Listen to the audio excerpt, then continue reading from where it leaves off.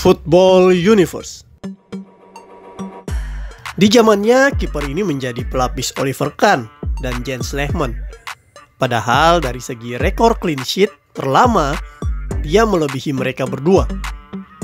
Dia adalah Timo Hildebrand, salah satu kiper Jerman yang menarik untuk dikisahkan.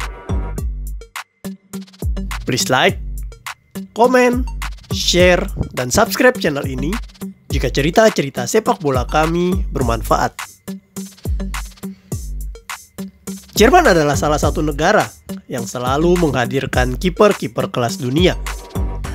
Sebut saja Sepp Meyer, Tony Schumacher, Bodo Illner, Andreas Kopke, Oliver Kahn, Jens Lehmann, dan Manuel Neuer.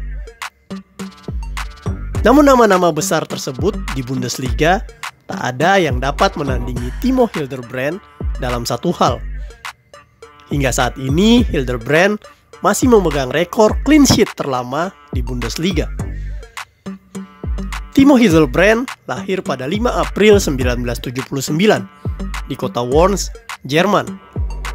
Sepak bola adalah hal yang selalu menarik perhatian Timo, sehingga sejak usia 4 tahun, dia selalu memainkan si kulit bundar. Pada tahun 1984, saat berusia lima tahun, orang tuanya kemudian mendukung hobi Timo dengan memasukkannya ke Akademi Sepak Bola FV Hoffenheim yang terletak tidak jauh dari rumah mereka.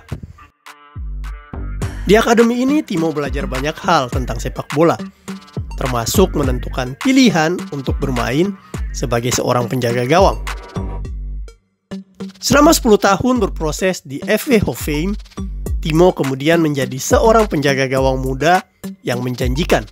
Kecepatan refleks serta ketenangannya di bawah mister gawang sangat mengagumkan. Karena hal ini maka tim Bundesliga VfB Stuttgart kemudian merekrutnya untuk bergabung dengan tim junior mereka di tahun 1994. Di tim junior Stuttgart, Timo semakin diperlengkapi sebagai seorang penjaga gawang. Selain itu, dia juga tumbuh menjadi penjaga gawang yang sangat stabil penampilannya, sehingga sering diturunkan oleh pelatih tim VfB Stuttgart Junior. Selama lima tahun, Timo memperkuat VfB Stuttgart Junior dan dia berhasil membawa mereka menjuarai beberapa kejuaraan junior lewat aksi-aksi menakjubkan. Pada musim 1999-2000, akhirnya Timo Hildebrand berhasil untuk menembus tim utama VfB Stuttgart dan dia pun bermain di Bundesliga. Tak butuh waktu lama untuk pemain berusia 20 tahun ini menunjukkan penampilan terbaiknya. Di setengah musim pertamanya, dia sukses menjadi kiper kedua yang selalu dapat tampil maksimal saat dimainkan. Hal ini membuat pelatih VfB Stuttgart, Felix Magath, kemudian mempercayakan posisi kiper utama kepadanya di musim berikutnya. Di musim 2000-2001 ini, Timo langsung turun di 8 pertandingan Inter Toto Cup untuk Stuttgart. Sementara itu di Bundesliga, dia mampu tampil dalam 32 pertandingan Stuttgart dan melakukan banyak penyelamatan-penyelamatan menarik dia juga dipercayakan tampil dalam lima kali pertandingan Piala Jerman, serta delapan kali pertandingan UEFA Cup. Banyaknya pertandingan yang dipercayakan kepadanya membuat percaya diri Timo semakin meningkat, dan dia pun sukses mengawal gawang Stuttgart dengan maksimal. Puncak penampilan Timo terjadi di musim 2002-2003 ketika dia berhasil membawa VfB Stuttgart menjadi runner-up Bundesliga di musim ini Timo tampil sangat fantastis dan dia mampu menjaga gawang Stuttgart tidak kebobolan selama 885 menit. Clean sheet ini kemudian menjadi rekor Bundesliga mengalahkan pencapaian Oliver Kahn yang hanya mampu mencatatkan clean sheet selama 802 menit. Karena hal ini pula, maka Timo Hildebrand kemudian dipanggil masuk tim nasional Jerman dan menjadi kiper ketiga pelapis Oliver Kahn dan Jens Lehmann. Pada musim 2006-2007, Timo tampil dalam 30 pertandingan Bundesliga untuk Stuttgart. di musim ini impiannya akhirnya tercapai, yaitu mempersembahkan gelar juara Bundesliga untuk tim yang membesarkan namanya ini. Tetapi sayang pada akhir musim, VfB Stuttgart tidak memperpanjang kontrak Timo Hildebrand dan kiper legendaris mereka ini akhirnya memilih hengkang ke klub Liga Spanyol, Valencia. Di klub barunya, Valencia, Timo Hildebrand ternyata didatangkan untuk menggantikan kiper legendaris mereka, Santiago Canizares, yang pensiun.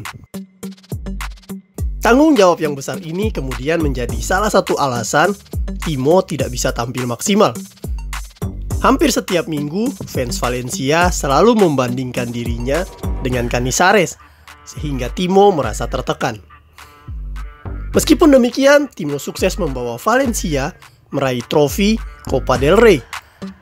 Sebanyak 26 kali, Timo memperkuat Valencia di musim 2007-2008. Kedatangan pelatih baru Valencia waktu itu, Ronald Koeman, menggeser posisi Timo sebagai kiper utama sehingga di bulan Desember 2008, Timo akhirnya memutuskan untuk kembali ke Jerman dan memperkuat 1899 Hoffenheim. Kembali bermain di Bundesliga membuat Timo bersemangat lagi. Sebanyak 14 pertandingan dimainkan Timo di musim pertamanya bersama Hoffenheim. Timo adalah kiper yang terkenal dengan penyelamatan-penyelamatan gemilangnya lewat lompatan yang jauh tetapi sering kali lompatan-lompatan ini membuatnya mengalami cedera seperti yang terjadi saat dia bersama Hoffenheim. Hal ini membuatnya harus beristirahat sampai musim keduanya. Selama dua musim, Timo memperkuat Hoffenheim dan tampil di 38 pertandingan mereka. Setelah kontraknya tidak diperpanjang, dia pun akhirnya hengkang ke Liga Portugal bersama klub Sporting Lisbon. Di Sporting Lisbon, Timo hanya bermain selama setengah musim. Dia kemudian sempat trial di Manchester City, tetapi kesepakatan kontrak tidak tercapai.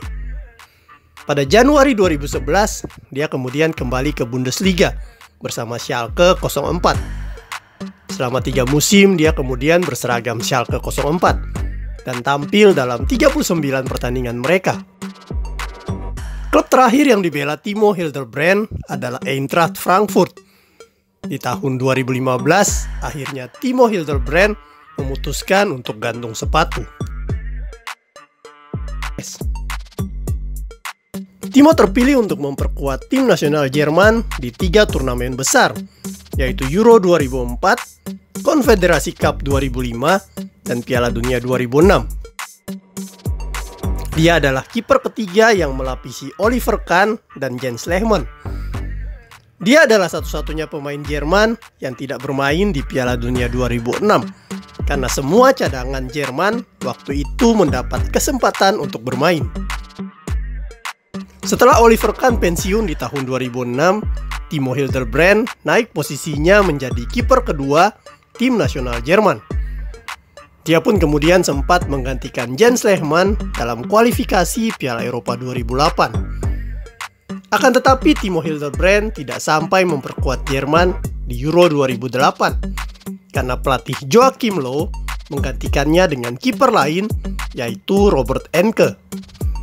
Sejak saat itu Timo Hildebrand tidak pernah dipanggil lagi ke tim nasional Jerman.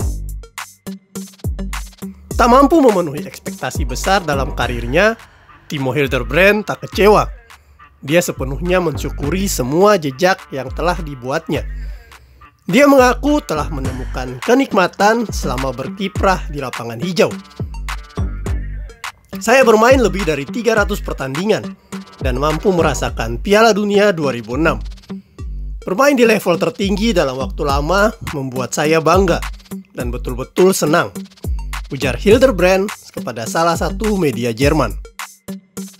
Timo Hildebrand akan selalu dikenang sebagai legenda VfB Stuttgart yang pernah mencatatkan pencapaian istimewa di Bundesliga.